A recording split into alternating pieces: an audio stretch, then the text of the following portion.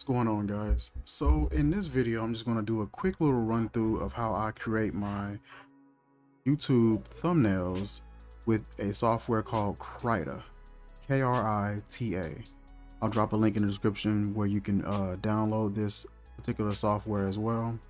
It's been super helpful for me. Uh, when you download it, you're going to come to this screen here. You can either go to new file or open file uh, I'm going to be working on a uh, project that I've already started. We're going to go ahead and select that. And there's my pretty face. So over here on the right hand side, you have three layers. You have the layer with my picture. You have a bottom layer here. And you have the background layer. We're going to be working on this second layer here. So what I'll do is I'll come down here in this section here to the paint brushes we're going to select the airbrush tool. Uh, we're going to select the color black. Make sure that our brush tool over here, the freehand brush tool is selected. And our cursor shows the size of the actual brush. So we'll come up here to size right here. And we're going to increase that around here. Give us a nice size so we can paint this background fairly quickly. And this little option here is your opacity. We'll leave that as is and we're just going to paint probably half of the screen this black color. It actually looks a little brown. See, I can go a little darker. But yeah, that it was like a little brownish. And that that doesn't look bad at all. And now, with that dark background, you're able to notice these imperfections that are here much easily, much easier, I'd say. Right here on my hair, where I cut this picture from, you're able to see some of the rigid edges. You're able to see some of that white background that was peeking through. So what we're gonna do, we're gonna come over here to the left-hand side to the color selection tool. We're gonna click that and we're gonna zoom in and we're gonna select any color or portion of this area here that we would like to mask over this. I'm to pick this color here, this black color.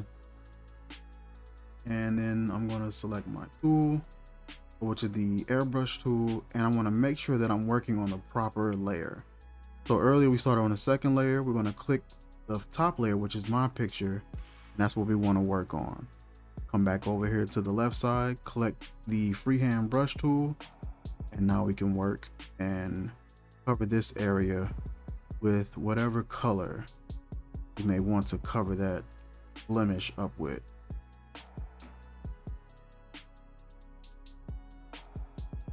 And it matches the color of what's going on back there pretty well. Uh, we'll decrease that size just a little bit. And just cover up some of those white areas. Cover up some of that. Come up here. Try to catch a few of these little areas as well. This works a lot easier since we're using a black background for this portion of the of this photo. But if we were using a different color, that's another method that I normally use. Is like I'll kind of blur or I'll smooth out some edges and stuff like that to make it uh, look a bit pleasing, more, more a little bit more pleasing to the eye. And that's not too bad. It kind of covers up and helps me out with some of those areas that were over there. So we're gonna keep that tool. We're gonna increase this size here. We're gonna come back to the previous layer that we are working on. And we're gonna select royal blue. Increase this uh, size here to cover it a little quicker. We have somewhat of like a black and blue background here, which is cool. So I want to soften these edges on these, uh, this little two-tone edge here. I'm gonna come over here to my brush selector menu over here. And we're gonna come down and select this tool here, which is the Blender Blur tool. And there could be better ways to doing this, but this is just my method. And I'm just gonna click repeatedly click and just kind of soften some of these edges. You can drag from the black side to the blue, bring that over, or you can drag from the blue over to the black and bring that over. However you want to do it. Just blending and softening these edges. You can create somewhat of like an abstract sort of feel back there. You know, get a little creative with it if you want. And it's nice. I like the I like the way that that looks. So now we've added a little bit of dimension to the background, nice little feel and everything for that. What we're going to do is we're going to click the eye icon, which basically turns off that layer. We're to turn off all those layers and we're going to come up here to this top section where it says layer, click that, come down to import, export, I'm going to go over to import layer. Coming to my download section and this is a photo that I downloaded of Roja Dove Elysium. This is the photo that I want to work on today. So we want to transform this and move this around and resize it and all that. So we're going to hold control and press T. I can resize this however I need to. And all the other layers are off. So as I'm moving and doing things, it's not going to affect those. So you can come here to the continuous selection tool over in our left hand corner and you can select that. And so say for instance, if I select this white portion, it'll select everything in that photo with white in it and you can just delete that. Instead of us doing it that way, we're going to go and use more of a, a detailed method. This is the Bezier curve selection tool. And with this bottle being so rigid and square, it'll be kind of easy to do. So what I'll do is I'll come here and you'll click. It's going to create a point and you're going to move your cursor to whatever next point you want to click. And you're going to do this until you pretty much have the entire contour of this bottle selected. So we'll click here We'll come up here. We can zoom in to get more of a better visual. We'll click there and then it'll create a point each time. Click there, zoom out, come over here and kind of scroll up so we can see where we're going. Come here, come up on the bottom of the neck. And it doesn't have to be super perfect, but I definitely want to get a good idea of the bottle and the majority of the contour of the bottle come down here, come there, click there, here, here. We're gonna zoom out, zoom back in so we can see what we're doing. Come down that way. We'll come back across and we are nearly done. Now, it selected the entire bottle, but we don't want to delete the bottle. We want to delete everything else around it. We're going to hold control, shift, and press I. That's going to invert the selection that we just made. So everything that's outside of that bottle, it deletes. We're going to press delete. There you have it.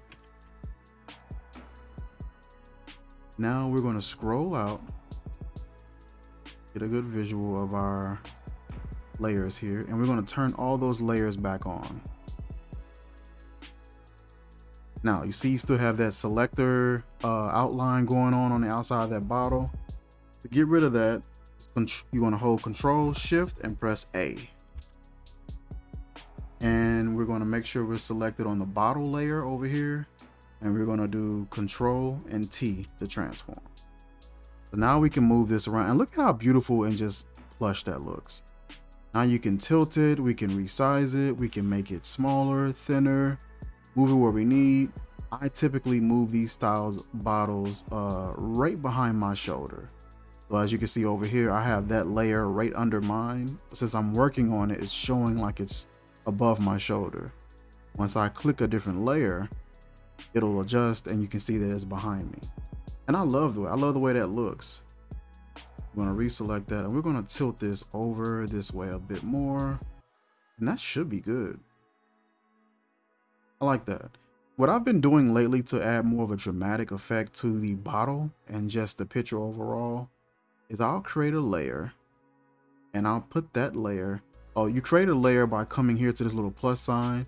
Once you click it, it'll just update a new fresh layer for you. You can press and drag these layers wherever you want them. If I wanted to go under my picture layer here, I can do that. If I wanted to go under the bottle layer, I can do that. so on and so forth. Right where we have it under the bottle is where we want it. So what I'm gonna do is I'm gonna come down to my texture section over here and I'm gonna select this little blotch here is texture big and I'm gonna find maybe a lighter color blue to add some texture right behind that bottle. I'm gonna come over here to the freehand brush tool and see my cursor changed dramatically. This is gonna be pretty much the texture that it leaves. So we're gonna click right behind this bottle and just get like an idea of how that texture gonna look. Creates like this smoky sort of effect to me. And we're just lightly gonna click and select so they can create like a little bit of a, you know, little texture right behind that bottle, making it just so much more dramatic. Like the different color, you can play around with some of the colors there. That one isn't necessarily that good, so I'm gonna leave that one off. well, maybe this dark blue maybe look good though. Look at that. Kind of creating just a little bit of, uh, a little bit of feeling to it, a little bit of movement. I'll come back with that lighter color. I think that might do it. So what I would also like to do is I would like to create like somewhat of a splash effect. So we'll come with white, keep that size there, and I'm gonna come from here to about here. We'll do that in one swoop. Or two, sorry about that. All right, so we got that little effect there. Adds like a little bit like a splash kind of deal. And what I'm gonna do is I'm gonna select the actual bottle layer and I'm gonna decrease the size just a little bit. And I'm gonna do another from here on top of the bottle. Let's try that one more time. I'm gonna resize it. Perfect. I just wanted just a little bit to splash right on top of that bottle. Not a whole lot. And that's pretty much your thumbnail. Now you can go in and add text. Come over here to the left hand corner, select the text tool.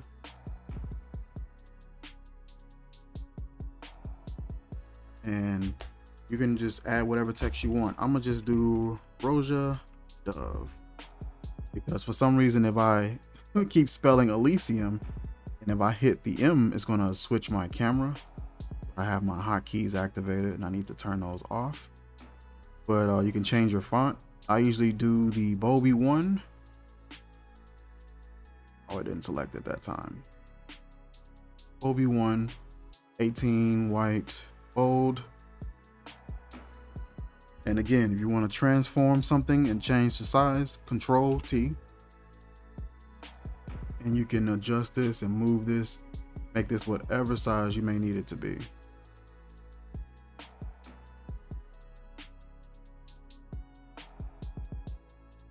And there you go. Now, sometimes what I'll do is I'll take the text and I'll slide it down just a little bit. Pull this up. So now the letters are right above my head and I'll take it just below my layer. Give it like a little bit of depth, judgment and depth and stuff like that. And there you have it. That's how I make my thumbnails for my videos my thumbnails for the longest were pretty cheesy and pretty lame and so I've been working on trying to make them a little better and this is just a quick little run through of how I do mine uh, like comment share subscribe and if you guys like to see more content like this, just let me know in the comment section and I will see you guys soon. Peace.